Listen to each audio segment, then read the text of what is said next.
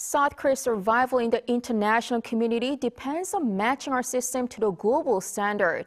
That's President Yoon Suk Yeol during his first cabinet meeting back from Korea New, Year holiday and a week-long foreign tour which took him to the UAE and Davos. Detailing the scope of the economic achievements made during his trip, Yoon asked for his government's efforts to bring the nation's investment environment up to par with the international standard to attract more foreign companies to South Korea. President Yoon also vowed to deal with these measures himself at related meetings.